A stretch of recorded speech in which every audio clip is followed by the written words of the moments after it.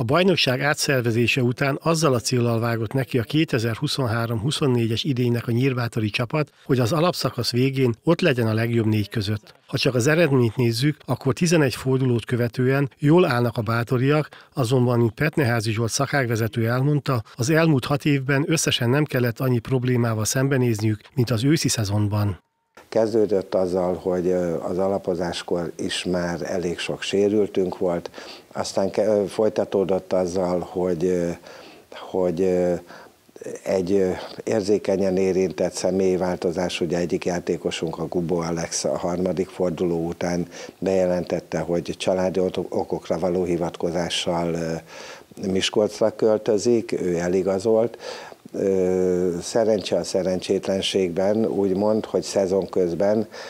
megtaláltuk azért Varga Lászlót, akit senkinek nem kell bemutatni, Fehérgyarmat, illetve Nyíregyháza volt játékosát, aki a későbbiekben próbált segíteni ezen a, ezen a helyzeten. Aztán jött a következő probléma, sajnos edzőnk Fajcsik Miklós ágynak dőlt, beteg lett, úgy, hogy, úgy, hogy vészmegoldásként, mivel hogy Miki sajnos tartósan távol lesz a csapatunktól, vészmegoldásként nagyon gyorsan edzőt kellett találni, amit itt szeretnék megköszönni Vejbli Zoltánnak, az Aranysárkány kézilabda klub vezetőjének, hogy azonnal elvállalt, és viszont csak úgy vállalta el, hogy a december végéig, tehát gyakorlatilag az őszi szezonnak a végéig. Az edzőcserét követően kellett néhány mérkőzés ahhoz, hogy ismét jönni kezdjenek a győzelmek ahogy kezdtünk újra összerázódni, azért jött egy olyan remek eredmény, hogy Hajdú Szoboszon szinte végigvezetve azért egy X-et el tudtunk, tehát egy pontot haza tudtunk hozni, és most az ősznek az utolsó mérkőzésén Balmazújvárosban szintén a sok sérült, azon a mérkőzésen nem léphetett például pályára Varga Laci a sérülése miatt,